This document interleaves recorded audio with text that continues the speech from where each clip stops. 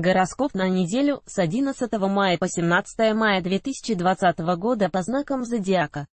Астрологический прогноз составлен на 20 неделю 2020 Московская, GMT плюс 3 часа.